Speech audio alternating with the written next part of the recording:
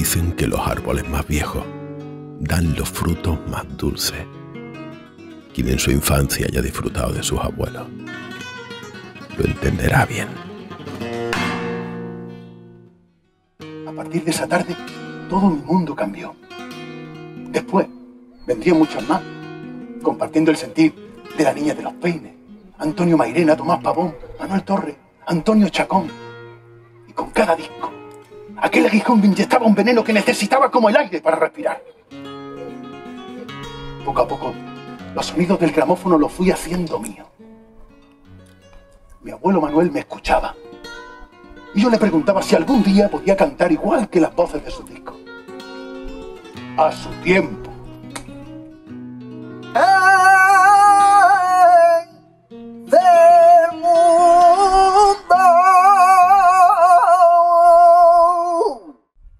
Movimiento te atrapaba. Y no podías apartar los ojos hasta verla convertida en un volcán que estallaba y te abrazaba. No tenía método, norma ni escuela. Solo instinto, corazón y raza. Así era la tomata. Puro temperamento.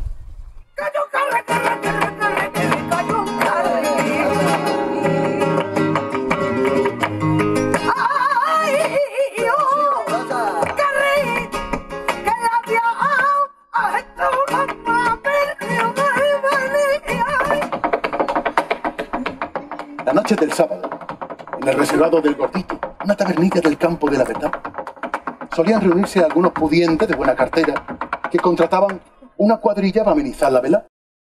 Bueno, pues allí me ven. Sin apenas pelusilla en el bigote y con pantalón corto trabajando en mi primera fiesta.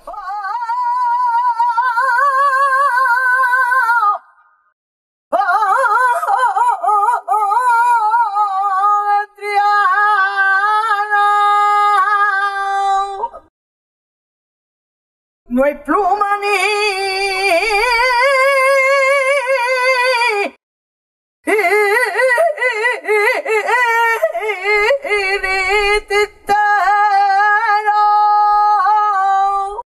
para.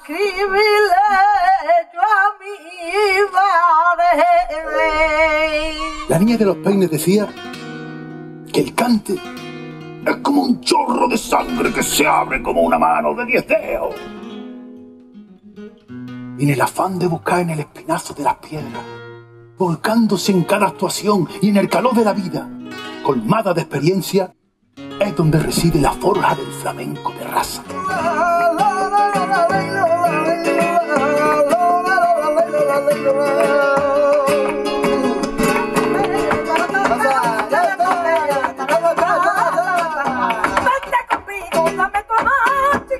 Pero por encima de cualquier mérito, el cante, el cante es la voz honda, el quejido ancestral que posee el verdadero artista capaz de conmover a cualquiera, aunque no le guste.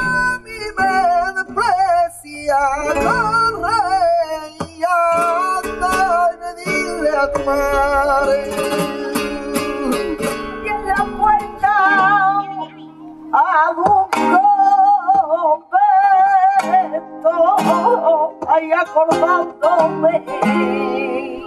un oficio al que cada noche, en cualquier rincón por pequeño que fuera, se entregaba Curro de Utrera, Automoto o Lucas de Ecija, en cuerpo y alma.